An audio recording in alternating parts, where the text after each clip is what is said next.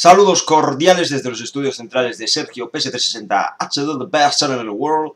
Y bueno, estoy aquí en otro fútbol blog y quería comentar lo que viene siendo lo que dice el título, ¿no? Claramente. Va a jugar el Real Madrid sin 9 en el Clásico.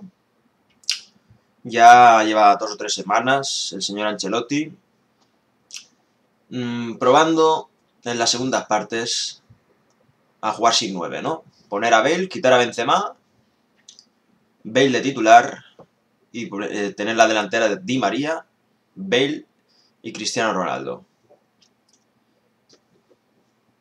Yo creo que estaba haciendo pruebas para probarlo en el Camp Nou, la verdad. Lo tiene pensado, pienso yo, que va a quitar a Benzema y va a poner a Bale de titular. La pregunta es, ¿es buena idea salir sin 9 en el Camp Nou? Lo que está claro es que tenemos un gran problema, llamado Gareth Bale no sabe el entrenador dónde meterlo. Lo quiere meter por cojones porque ha costado 100 kilos y no queda más remedio que meterlo. ¿Dónde lo quiere meter a Gareth Bale? Sería un insulto total y absoluto quitar al señor Di María, que es el que juega en su puesto, porque Di María es el, que, el jugador más en forma del Real Madrid junto a Cristiano Ronaldo. O sea, es una gilipollez quitar a Di María. Sería un pecado mortal quitar a Di María del 11. Y claro, la pata que más cogía del 11 de arriba, de la parte de arriba, es el señor Benzema. Que apesta. Es una lacra. No aporta nada. Y claro, pues es lo que tiene en mente, ¿no? El señor Ancelotti. Si hubiera sido Di María el que no estuviera rindiendo bien, pues lo tendría clarísimo. Quitaría a Di María, pondría a Bel en su puesto y punto.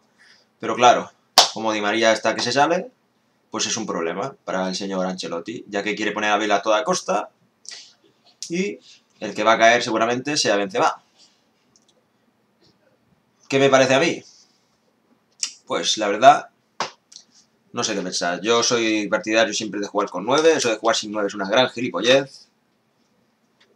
Yo pondría a Morata, la verdad. Y bueno, lo que yo diga importa poco, porque claro, si por mí fuera, exterminaría a unos cuantos jugadores de la plantilla del Real Madrid jugadores que juegan muy habitualmente. Así que veremos lo que hace Ancelotti. ¿Saldrá con 9 o sin 9? Mañana lo veremos. Y bueno, quería hablar sobre otro tema. Y es sobre la cristiano dependencia, ¿no?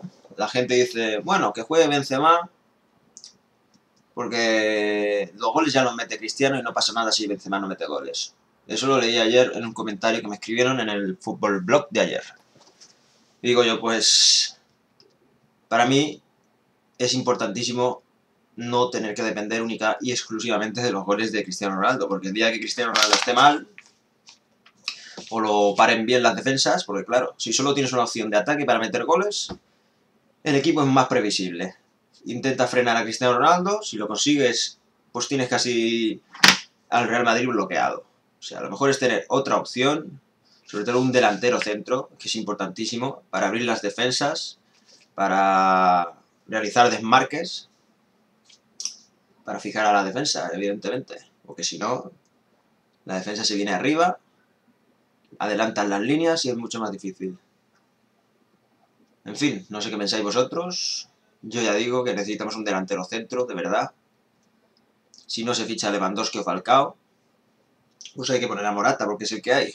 Pero a Benzema no lo quiero ni en pintura porque chaval me da igual si dicen que ahora corre, porque yo no lo veo correr, porque no le veo participar. Un delantero que se supone que participa mucho en el juego, no le veo tocar pelota, no le veo desmarcarse, no le veo peinar un balón. En fin, no sé. No sé, los que os gusta Benzema, no sé qué le veis. ¿Que tiene calidad? Sí, pero claro, si la demuestra una vez cada mil años, pues como si no la tuviese. En fin, señores, un saludo y veremos lo que hace Ancelotti mañana, que miedo me da, la verdad. Me da muchísimo miedo. Espero que salga bien el experimento, si saca Bale de, de delantero, o a Cristiano de delantero, como lo quiera poner. La verdad es que Cristiano como delantero no rinde igual. Yo prefiero tener más libertad, porque realmente él acaba siendo delantero centro, pero claro, parte desde la banda y juega con libertad y no se, no se queda fijo ahí en la delantera. Eso a él no le gusta, eso se ve claramente que no le gusta a él. A él le gusta venir por sorpresa, como aparece Messi también, suele aparecer por sorpresa. En fin, un saludo y nos vemos en el próximo vídeo.